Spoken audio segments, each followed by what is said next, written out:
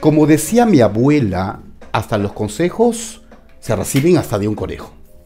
Y yo creo que Marifer Centeno está recontra perdida, recontra perdida, más perdida de que Marco buscando a su mamá. ¿A raíz de qué? A raíz de lo que estamos escuchando de esta mujer, que realmente es indignante y termina siendo increíble. Si no tienes nada bueno que decir, mejor ni siquiera te sientes dentro de una entrevista. Y creo yo que si yo entrevistara a Marifer Centeno y ella no me va a responder las cosas que yo quiero saber de acuerdo al escándalo en el cual está metida, lo primero que haría sería, ¿para qué demonios viniste si vas a hacer lo que te da la gana? Entonces lárgate, no, te quiero aquí.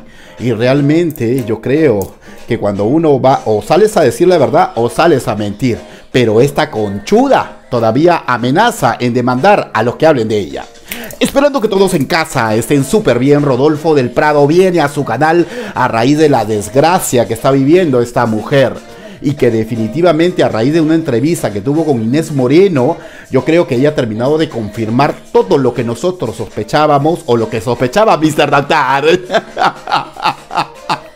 Mr. Doctor la terminó por acabar y dice que le dio chance a que ella pensara lo que estaba haciendo, pero no, ella siguió, siguió, siguió y ahora ya se jorobó. Quiero invitar a todas aquellas personas que ingresan por primera vez a mi canal a suscribirse al canal accionando la campanita inteligente, inteligente, Marifer Centeno no es. Y yo creo que acaba de, a ella sola se acaba de sepultar a raíz de lo que nosotros estamos viendo. Si bien es cierto, la entrevista que pude ver el día de ayer de Marifer Centeno juntamente con Inés Moreno deja mucho de qué hablar y habla mucho de ella, que lo vamos a analizar dentro del programa, yo pienso, mamacita, desde acá te doy un consejo. ¿A quién demonio vas a demandar? Cualquier persona puede demandar. Vas a demandar a Mr. Doctor y vas a demandar a todos aquellos que te estamos diciendo tus verdades en las plataformas digitales. Bueno, cualquiera puede demandar. Pero de allí a que proceda hay bastante diferencia. Y yo no creo que tú puedas probar nada de lo contrario de lo que dijo Mr. Doctor. Mr. Doctor parece que tiene la razón al 99.9%. O sea, la otra está en graves problemas. ¿Dónde está la SUNEDU? ¿Dónde están las, las autoridades? ¿Dónde está Indecopi? ¿Dónde está el Ministerio de Educación y todo lo que ustedes quieran colocar? Lo que son instituciones de aquí del Perú, pero que obviamente a raíz de una estafadora proceden y la meten presa por haber engañado a todo el mundo. Vamos a cambiar el todo de la música, no nos quedamos callados dentro del programa, ya sabe el público, su comentario importa, su like también, cualquier donativo lo pueden hacer por medio de PayPal. Uno es periodista desde un inicio hasta un final. Pero uno no puede ser periodista cuando le conviene y cuando le, no le conviene no. Y vamos a hablar seriamente con respecto a este tema. Porque no nos quedamos callados, pero parece que Inés Moreno, dentro de la entrevista que tuvo con Marifer Centeno, se quiso pasar de periodista, pero con otros termina siendo una mediocre mándenle el programa a Inés Moreno para que sepa lo que estamos hablando de ella, porque nosotros aquí en el programa somos de decir verdades en la cara, nosotros no somos hipócritas, Inés Moreno, y yo creo que como periodista, este comunicador te puede dar cátedra de lo que viene a ser un periodista realmente. Un periodista no se casa con nadie, y lo vas a entender conforme vaya pasando el programa, porque te lo voy a decir aquí claramente, con lujos y detalles, para que puedas entender por qué estoy diciendo esto. Para mí, Tú no eres una periodista. Para mí tú eres una sobona lambona que mires a tu rival antes de comenzar a decirle que eres una periodista para recién, ejercer lo que estudiaste. Yo no estudié periodismo, soy un comunicador y yo no me caso con nadie dentro de mi profesionalismo, que lo he tomado muy en serio como comunicador, es más importante que cualquier cosa. Si no, pregúntaselo a Gustavo Adolfo Infante y él te lo va a decir con lujos y detalles. Inés Moreno, a raíz del escándalo que existe con Marifer Centeno, del supuesto robo que ella tuvo dentro de sus oficinas, comenzó a hablar con respecto al tema. La invitó a ella, ¿a qué? La invitó a una entrevista. Sí, Marifer Centeno aceptó la entrevista que tuvo con esta mujer llamada Inés Moreno para hablar supuestamente del robo que tuvo ella dentro de sus oficinas. Un robo que deja muchísimo que desear.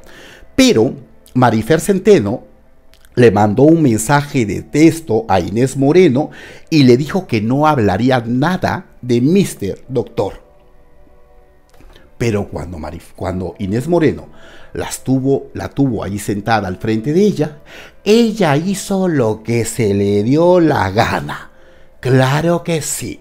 Pero hasta qué punto llegó esto de hacer lo que te da la gana, bueno, si lo vas a hacer a lo completo, no lo hagas a medias.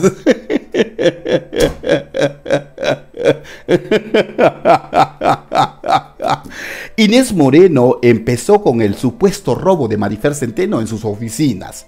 Y Marifer obviamente comenzó a contarnos un poco con respecto al tema y ella estaba recontra preocupada recontra preocupada con los jabones de colores que ella tenía en el baño. Jabones que tenían un cuarto de crema humectante que para suavizar la piel, jabones que son para las cicatrices como el de Psychiatric Cure, jabones que eran para pues eh, lubricarte y todo lo demás y ella estaba más preocupada de los jabones que con respecto al tema del bendito robo, o sea, ella estaba preocupada que el ratero se había llevado los jabones de su baño. ¡Ay, Dios mío! ¡Ay, Dios santo! No se supone, mi querida Marifer Centeno, que deberías estar concentrada en los detalles más importantes y, y de lo que sucedió en el supuesto robo. No. Ella estaba concentrada hasta en los comentarios que el público comenzaba a decir dentro del programa de Inés Moreno. Yo creo que ese tipo de cosas es algo que le corresponde al que maneja el programa. El que maneja el programa es el que le dice lee los comentarios en los momentos precisos después de haber hecho una entrevista para ver cuál es la opinión del público. Pero ella cambiaba el tema en cada instante para que no, no profundizar con respecto a este punto del supuesto robo. Y eso lo hace una persona cuando no tiene nada bueno que decir cuando no tiene nada bueno que decir, se comienza a irse por la tangente. Entonces me pregunto, ¿para qué demonios aceptaste una entrevista? En todo momento vimos a Marifer Centeno nerviosa.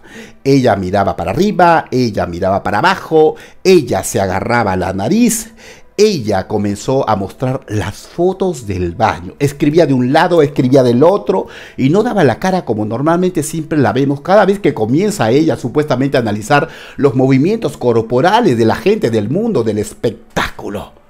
¿Saben qué, señores? Lo que ella nos ha contado es todo una mentira. Qué fácil resulta irse a un baño y tirar sangre de mentira y tirar todo y manchar la poza y sacarle una cosa y otra cosa más. Cuando tú agarras una manguera y comienzas a regar el baño y como todo es cerámico, obviamente que lo vas a dejar como si no hubiera pasado nada lo que nosotros estamos viendo es una gran mentira montada por esta mujer y me atrevo a decirlo porque la he analizado, no necesito ser grafólogo ni movimientos corporales ni nada para ser inteligente y darme cuenta que esta es una cínica mentirosa. ¿Cómo vas a llevar las fotos del baño? ¡Ridícula!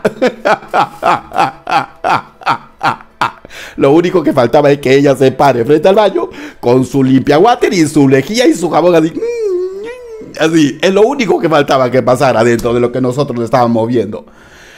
Analizando los movimientos corporales de Marifer Centeno, ella estaba mintiendo en todo. Todo lo que no debería de hacer, ella lo estaba haciendo.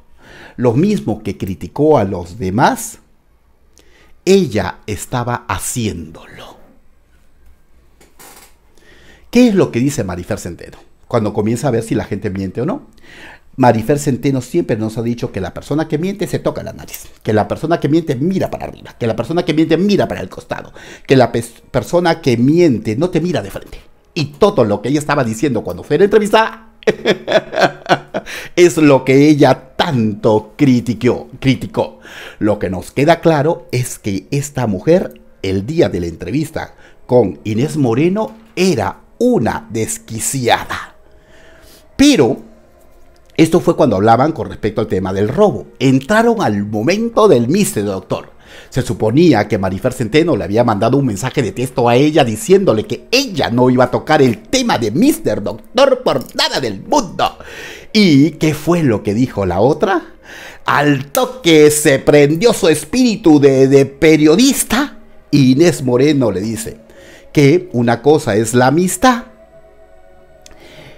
y que como amiga la puede apapachar, pero ella tiene que preguntar porque es periodista y le iba a sacar a reducir el caso de Mr. Doctor. Perdón, un ratito, para tu coche ahí, mándele el programa a esta Inés Moreno que no tengo el disgusto de conocerla porque creo que le diría un par de verdades a raíz de cómo se va pintando dentro de la plataforma digital. O sea, quiere decir que tú eres periodista cuando te conviene y cuando no te conviene, no. Quiere decir que tú mides a tus rivales y como tú sabes que Marifer Centeno es pacífica y se dejó hacer contigo lo que se le dio la gana, por eso abordaste el tema de Mr. Doctor, pero cuando tuviste al alcohólico, ratero, acusado de ratero por muchas seguidoras dentro de su programa, acusado de estafador dentro de su programa, acusado de haber hecho muchas cosas ilícitas, no le preguntaste, no le debatiste. ¿A quién me refiero? A ese que se sienta al lado de Gustavo Adolfo Infante que va a terminar siendo su puñal y se van a acordar de mí y va a terminar siendo su peor enemigo, el bendito Carlos Comunicador. Sí, el mismo, el proxeneta y lo digo abiertamente y lo reafirmo dentro del programa, el proxeneta de Juan Gabriel del fallecido Juan Gabriel, aquel que le llevaba a los pulpines, a los chivolos, a los jovencitos, para prostituirlos con él. Cuando lo tuviste ahí comenzó a contar la vida de Juan Gabriel, de los logros y hechos, de lo que pasó siendo un perro y un mal amigo, entonces pues ahí sí te callaste el hocico y lo dejaste ser y lo llenaste de pleitesía y no lo debatiste. ¿Por qué? Porque la loca esa es una desgraciada descosida y que es una atrevida y que obviamente sabías que podría ser tu mejor enemigo al raíz de conconarlo contra la pared o arrinconarlo contra la pared. O sea, eres periodista cuando te conviene y cuando te conviene no eres periodista, lo que nos queda claro que esta es una mediocre. Y lo que nos queda claro es que esta mide a sus rivales antes de enfrentarlo. Un buen periodista le vale madre si uno es peligroso o el otro no. Un buen periodista debate, enfrenta, con, confronta y dice las cosas claras, pero ella mide al rival que tiene al frente. Lo que, tú no, lo que tú eres no es una periodista. Puedes tener el cartón, pero lo que eres, yo te lo voy a decir en el programa, eres una mediocre. Y yo, siendo pues conocido, con Gustavo Adolfo Infante. Cuando lo tuve que debatir, lo debatí. Cuando lo tuve que defender, lo defendí. Y yo sí puedo decir, no estudié periodismo, soy un comunicador, pero yo sí puedo decir que tengo el coraje y el espíritu por haber nacido para ser periodista. Pero tú eres una mediocre que mide con quién se va a sentar, a quién va a debatir y a quién no. Así que mejor calladita, tápate el hocico. Marifer Centeno dijo que no comentará nada de gente que habla mal de ella. Mamacita, una cosa es hablar mal de alguien y una cosa es decir verdades. Son dos cosas totalmente distintas. ¿Cómo que no vas a hablar? Viene un Mr. Doctor, comienza a decir que tú eres una estafadora, que has engañado a la gente que has engañado al gobierno a raíz de haber mentido, que tú eres una profesional y que tienes todos los cartones sabidos y por haber, desde los inicios de tu vida hasta los, hasta los fines del... hasta los confines del universo. Entonces, mamacita, cuando alguien sale a decir eso, Tú sales a defenderte porque es un hombre que tiene millones de seguidores y te lo está diciendo en tu cara. No es un don nadie, no es el hijo de la vecina, no es el que vende pollos o huevos en el mercado. Es un influencer que ha demostrado con creces que eres una estafadora y que eres una sinvergüenza. Y todavía tienes el descaro y el parpajo de decir que no vas a responder. Es que no vas a responder, ¿sabes por qué? Porque no le quieres provocar la boca al otro, porque piensas que eso debe morir ahí y que no te conviene que él siga hablando de ti. ¿Sabes qué es Mr. Doctor? Mándenle el programa Mr. Doctor. Sigue dándole, sigue averiguándole, sigue le metiendo candela para que responda, para que diga las cosas que tiene que responder ante la sociedad. Porque yo creo que es una responsabilidad. Cuánta gente sufre de depresión. Cuánta gente a raíz de tener a personajes como este, Marifer Centeno, puede llegar hasta el suicidio a raíz de hacerse pasar como una profesional.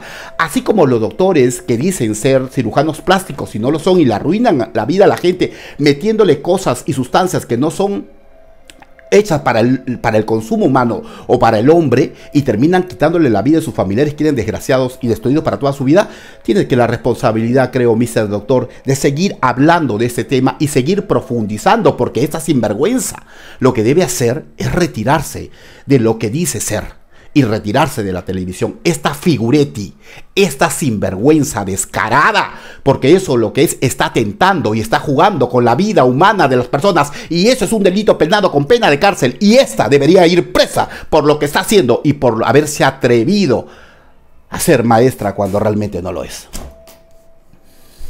¿Cómo no vas a hablar si te están diciendo sinvergüenza, estafadora, entre otras cosas más? Lo que nos queda claro, a raíz de su silencio, es que el que calla otorga. Pero a pesar de que Marifer Centeno no quería hablar de Mr. Doctor, Inés Moreno mencionó todos los insultos que le propaló Mr. Doctor dentro de su, su, programa, como estúpida, mentirosa, mustia, sinvergüenza, ladrona, etc., estafadora y todo lo demás. Y la otra no sabía dónde meterse. La otra no sabía dónde meterse y no sabía qué responder.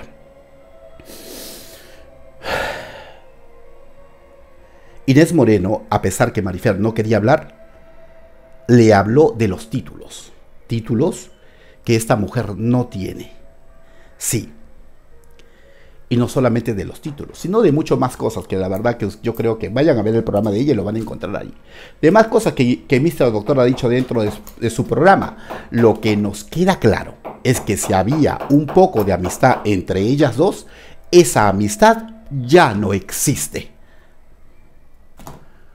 Y Marifer Centeno terminó diciendo que ella no le va a contestar nada a Mr. Doctor a un hombre que tiene millones de seguidores, a un hombre que ha fundamentado su verdad con pruebas y todo, ella no le va a contestar. Claro, pues el que cae otorga, no te conviene contestarle. Esa mujer lo que nos queda claro es que está realmente enferma, está mal. Hasta llegó al extremo de vestirse de marinero y decir que está vestida de marinero, porque estar vestida así de marinero era como que una chica sexy. Y yo lo que veía ahí, le soy bien sincero, no era una chica sexy, para mí parecía un estudiante de la escuela cuando se va a estudiar, ¿no? Parecía una niña con ropita de marinero. No sé qué cuál es el concepto de esta mujer decir sexy. Si querías vestirte sexy, te hubiera vestido de la gata fiera, de gatúbela, no lo sé, mamita. Hasta de la mujer maravilla. Después le hemos visto vestida de muñeca y el marido matándose de risa con ella. Lo único que reconoció Marifer Centeno en toda esta historia, que lo que dijo Mr. Doctor, que el título o la cédula que ella tiene el año, el año pasado recién la sacó, es lo único que reconoció. Pero eres tan bruta que al momento que comienzas a reconocer delante de Inés Moreno y de Jorge Carvajal, que te llamó para hacerte una entrevista y dijiste que sí, tu cédula recién la habías tenido el año pasado junto, junto con la de tu madre, al momento que tú reconoces eso, estás reconociendo que Mr. Doctor está hablando con la verdad. Ay, mamita, pobrecita de tu vida, pobrecita de ti. Yo creo que estás acabada y será mejor que te retires, es el consejo que te doy, de decir que eres doctora, grafóloga y que eres, eh, que analizas los movimientos corporales, porque has demostrado con hechos que realmente no estás bien de la cabeza, como lo del papiloma humano con Niurka Marcos, ¿no? Que solamente por mostrarte el derrier dijiste que te podías contagiar. ¿Sabes qué? Retírate.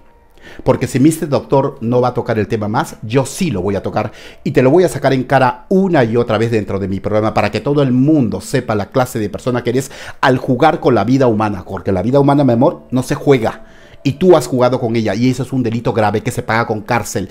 Escóndate bajo tierra, desaparecete, que es el mejor consejo que te doy.